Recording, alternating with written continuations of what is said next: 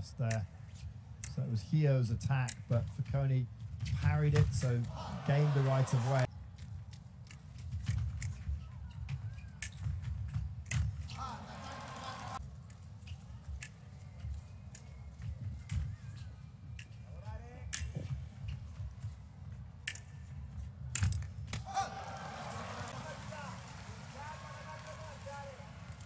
He's not only fast on his feet, he's got great hand speed. Picks up the blade.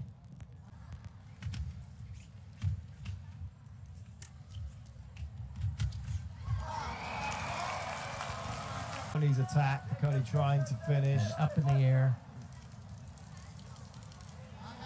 Foconi's going to change it because he doesn't want that to happen. Well, nice there from Hyo.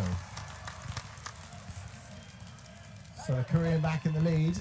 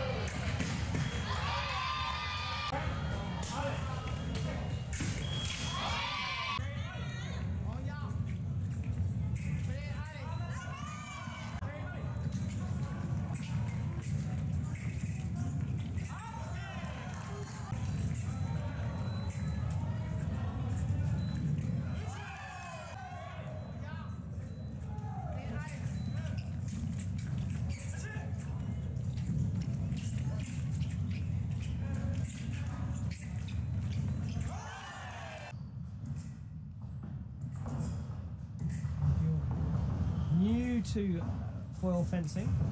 Oh, no, that's a wonderful finish. This elimination tells me that the referee uh, is Gaspari Amata of Italy. And that's Oh, still Joppich. that. Good as Peter, Peter Joppich, but when I fence, sometimes I, I would, you know, completely just as a sort of natural body movement cover target when in tight circumstances, and it's, it's almost involuntary. Oh,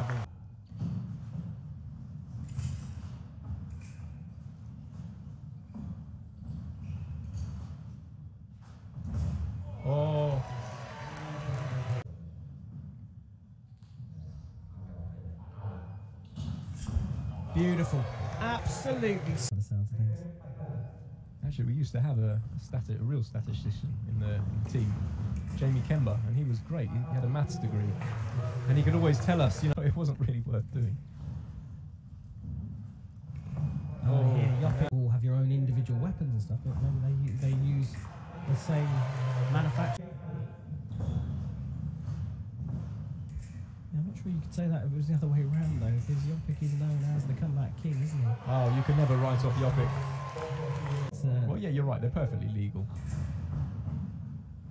What is frowned upon in the in the men's foil community is the the use of chest plates. Right.